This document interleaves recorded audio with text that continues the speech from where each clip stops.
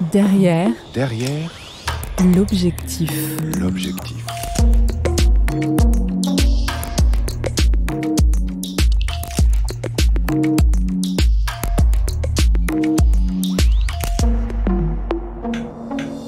Derrière l'objectif. Alors si je paraphrase l'un des détenus que j'ai rencontré là-bas, la prison de Nook, c'est un camp de vacances.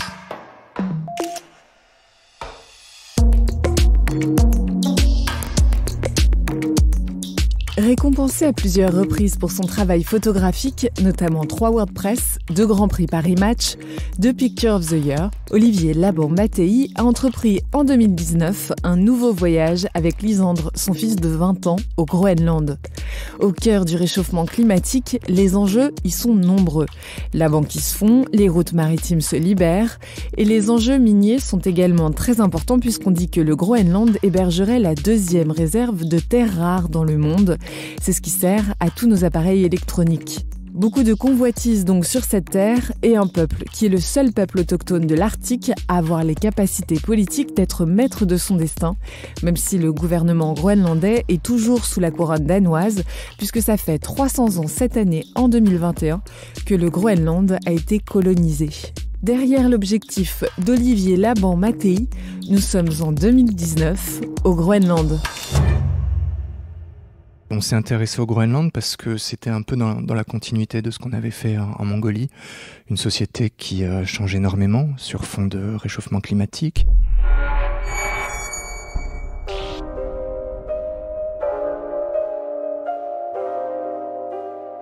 Chômage, crise identitaire, isolement, autant de facteurs qui plongent les Groenlandais dans le désarroi. Tiraillés entre tradition et modernité, les jeunes sont les plus fragiles. Uh, On a besoin de plus de travail. yeah. but many of Et them en même temps, euh, s'il y en avait, les gens ne travailleraient pas. Ils sont work. trop occupés à boire. Un manque de perspective fatal à de nombreux jeunes. Le Groenland remporte chaque année la palme du désespoir, avec le taux de suicide le plus fort au monde, huit fois plus élevé qu'en France. C'est terrible, mais ce chemin du suicide, on a tous été tentés de le prendre un jour.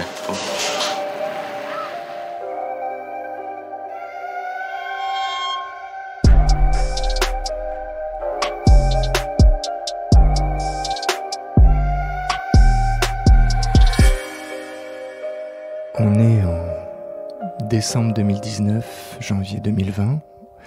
On part au Groenland. On part à Nuuk, dans la capitale.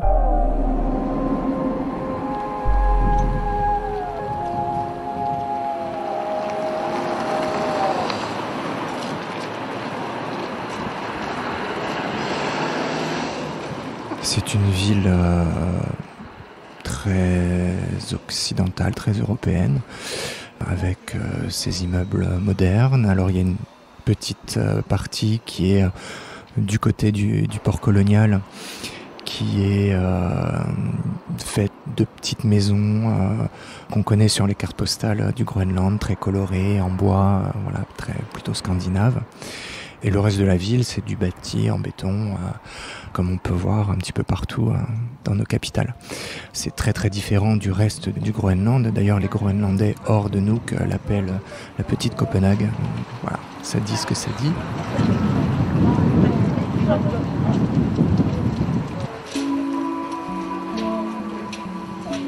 Dans une société euh, à deux vitesses, une société avec euh, beaucoup de pauvreté, notamment dans la capitale, mais partout dans le pays en général, où on a les meilleurs postes les plus importants, les mieux rémunérés, qui vont euh, aux Danois, et les postes difficiles, pénibles, peu rémunérés, qui sont réservés, on va dire, aux, aux Groenlandais, aux Inuits. Il y a hum, 90% d'Inuits au Groenland et 10% de Danois à peu près.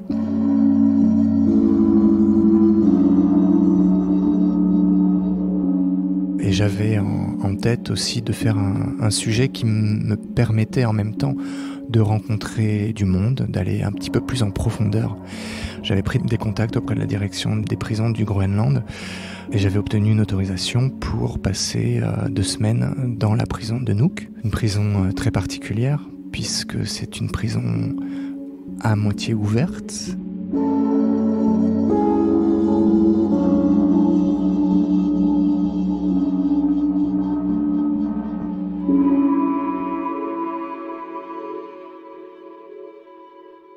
Groenland, la loi ne punit pas, elle vise la réinsertion. Cette loi qui date de, 1954, si je ne me trompe pas, a été faite euh, à une époque où il y avait encore beaucoup de villages, beaucoup de, petites communautés.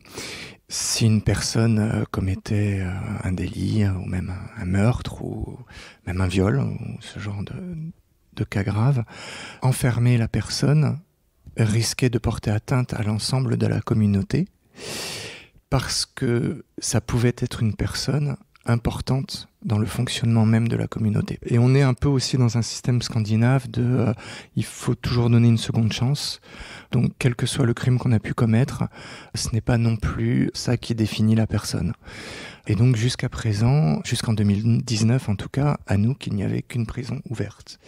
Et les cas les plus graves, vraiment les, les, les personnes très très dangereuses pour la société étaient déportées euh, au Danemark. Donc moi j'ai passé deux semaines dans la prison ouverte parce que je trouvais que c'était intéressant de voir comment les prisonniers eux-mêmes euh, vivaient euh, cette expérience, sachant qu'au quotidien, donc il n'y a, pas de barreaux aux fenêtres, et prison ouverte sous-entend qu'ils ont la clé de chez eux, ils peuvent sortir dans la journée pour aller travailler, seulement pour aller travailler.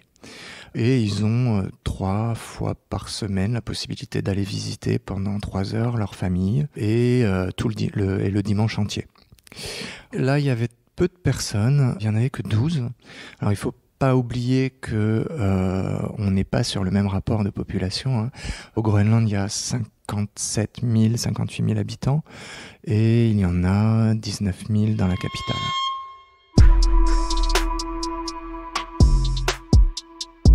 De la récidive, il y en a énormément, et essentiellement d'ailleurs sur euh, les délits liés à, la vente de cannabis.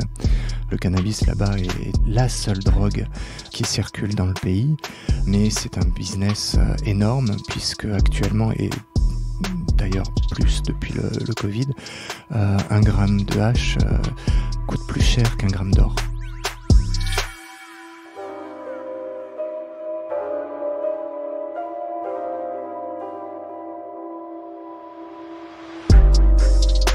Après, il y a un autre phénomène qui est très intéressant en prison, c'est que on trouve des gens qui font exprès de commettre certains délits pour avoir un toit.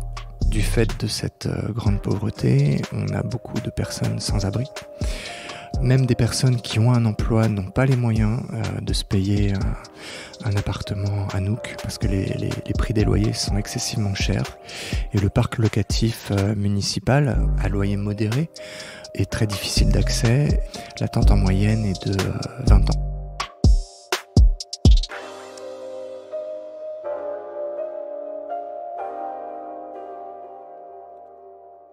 Alors si je paraphrase l'un des détenus, que j'ai rencontré là-bas. La prison de Nook, c'est un camp de vacances. Les gardiens ne sont pas armés. Une grande majorité n'est même pas formée. C'est-à-dire qu'on leur a donné un, uniforme. Pour le coup, des, très jeunes gardiens de 20 ans qui sont totalement inexpérimentés et sans armes face à, des gens euh, voilà, qui peuvent parfois en imposer.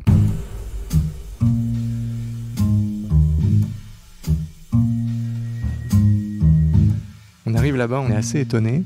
Je me suis posé et très vite euh, j'ai noué contact parce que les, ils sont ravis de voir euh, quelqu'un qui vient de l'extérieur, qui n'est pas prisonnier, qui s'intéresse à eux. Donc la discussion est, est très facile.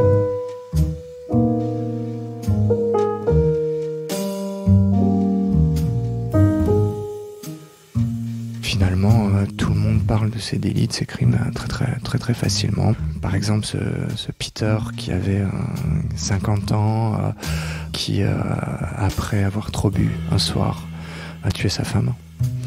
Ce n'est malheureusement pas un cas isolé.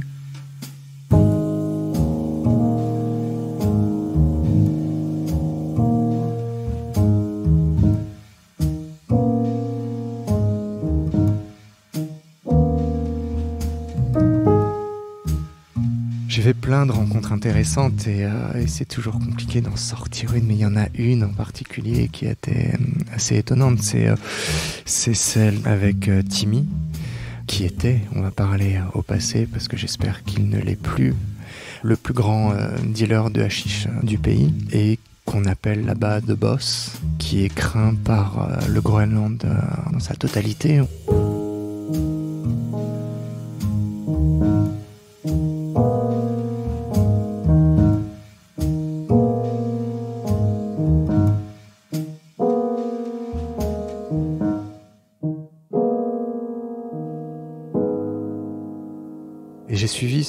Cet homme-là, c'est un, homme de 32 ans qui est une force de la nature.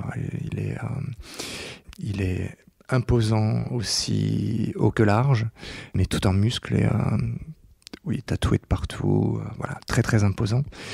Lui a a eu la chance d'avoir de trouver un travail pendant son incarcération et c'est un Danois qui lui a donné euh, cette chance, euh, un Danois qui a un- une entreprise de réparation de bateaux sur le port, qui lui a dit euh, Moi, je veux bien te prendre avec moi, mais par contre, tu vas arrêter tes conneries. C'est quelqu'un qui lui a parlé comme jamais on lui a parlé. Tout le monde le craint et lui, il a, décidé de lui parler autrement, de remplacer finalement le père que Timmy n'a jamais eu. Et Timmy avait besoin de ça pour se construire. Timmy, c'est quelqu'un qui a grandi sur l'île de Disco, qui est une île qui fait à peu près la taille de la Corse, dans le nord du pays. Quelqu'un qui a vécu dans la violence. Son père ne s'est jamais occupé de lui, donc il a vécu dans le manque. Et il s'est construit comme ça une vie de bandit. Alors, il est intéressant déjà parce qu'il est euh, à moitié danois, à moitié groenlandais. Il représente, euh, comme beaucoup de gens là-bas, cet antagonisme entre euh, ces deux cultures, ce conflit intérieur qu'il peut y avoir avec ces deux cultures. Pour ça, c'était très intéressant. D'ailleurs, il porte sur lui en pendentif le marteau de Thor et la représentation de l'Inuit sur la même chaîne.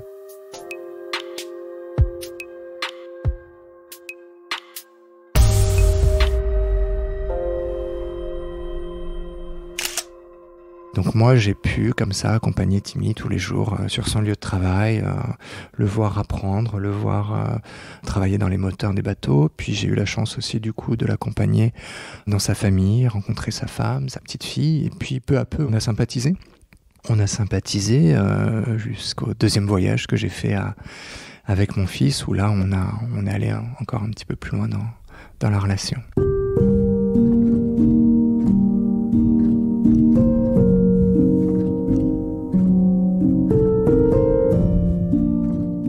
Projet avec mon fils, c'est on part en fait d'une nouvelle, d'un roman. Un roman écrit en 1931 par un monsieur qui s'appelle Hakulung, qui était politicien et écrivain groenlandais. C'est le deuxième roman de la littérature groenlandaise. Il a écrit en 1931 un polar, une, enquête policière, une histoire qui se déroule euh, au Groenland en 2021. Alors pourquoi il l'a écrit sur le Groenland de 2021 C'est que 2021 marque aussi le tricentenaire de l'arrivée du premier Danois sur le sol groenlandais et donc qui a marqué le début de la colonisation euh, danoise.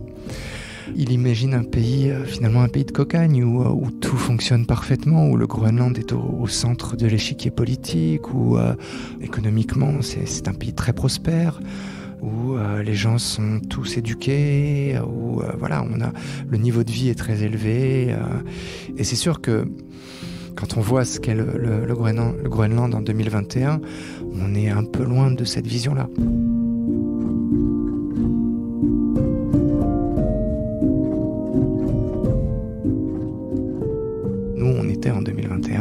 Euh, travailler sur le Groenland de 2021, où servait en fait un petit peu de moteur pour fouiller un peu la, la société groenlandaise actuelle. Donc c'est le travail que j'ai fait en photographie. Et Lisandre, mon fils, lui, va, écrire un, roman d'anticipation, donc de la même manière que Akulung l'a fait en 1931, mais lui va se projeter en, en 2051 et imaginer le Groenland de 2051. On a demandé à tous ceux qu'on a pu croiser sur le terrain comment ils voyaient leur pays.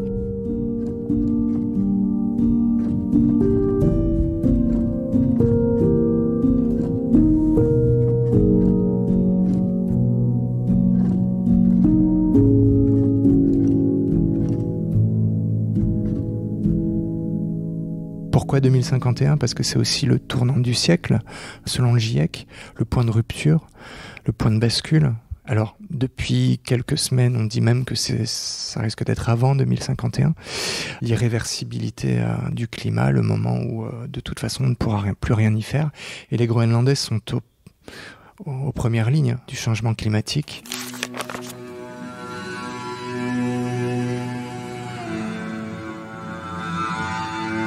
Je pense que Timmy aura un rôle dans le livre, c'est à peu près sûr. Surtout que le deuxième jour euh, du second voyage, donc celui que j'ai fait avec mon fils, on, va voir euh, Timmy.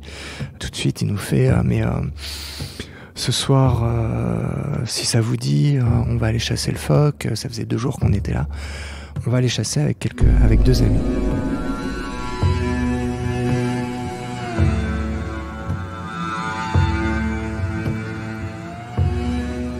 Donc à 19h après le travail, euh, on part sur son insubmersible, sur son semi-rigide, comme il dit. Euh, il nous pose le bateau, des boudins tout dégonflés, il est gonflé à la main, comme ça, vous inquiétez pas, c'est un, un semi-rigide, ça peut pas couler. Et on part comme ça avec ses deux amis, euh, chasser le phoque.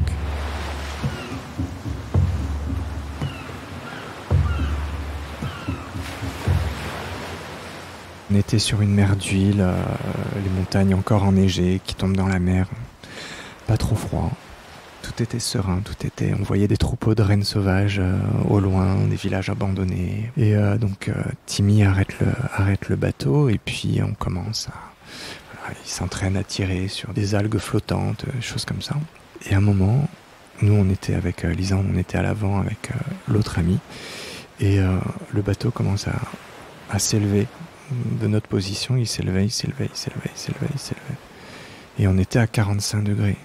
Au départ, on se disait c'est parce que le, voilà, le moteur est à fond et on a pris de la vitesse, donc le bateau s'élève et en fait, on s'élevait vraiment beaucoup. Et là, j'entends Timmy hurler. Il commence à jeter les sacs, les fusils tout à l'avant du bateau et en fait, on se rend compte qu'il a de l'eau jusqu'aux genoux. Et quand on tombe dans l'eau au Groenland, c'est pas bon signe. Il faut, on peut pas y rester très très longtemps en fait. On a l'espérance de vie, elle est de, quelques secondes.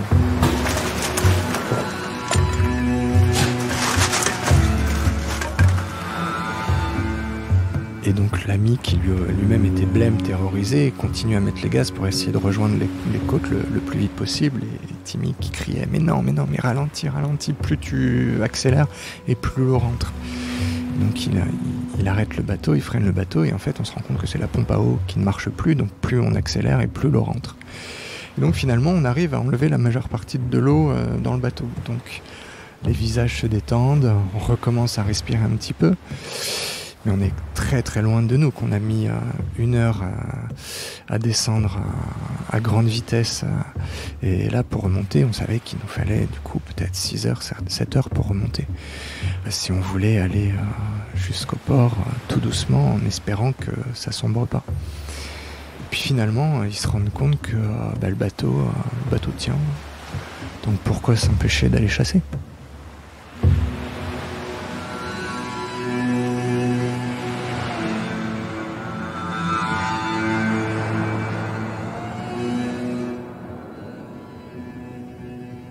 Donc nous voilà partis sur, sur une partie de chasse, alors qu'on était en train de couler euh, quelques minutes auparavant. C'est ça les Groenlandais. C'est euh, cette espèce de fatalité face à la mort. Alors même si bien sûr eux, eux aussi euh, n'emmenaient pas large et euh, et même si Timmy finalement derrière a explosé de rire en disant que tout était maîtrisé, bien évidemment, il était, il était totalement blême. Mais voilà, c'est ça aussi les, Groenlandais, c'est cette espèce de défi permanent face à la mort, face à, la nature et, finalement soit l'acceptation, soit soit la vie continue. Ils sont vraiment dans un état où ils vivent de manière euh, spontanée et immédiate en fait, et sans, jamais aucune projection.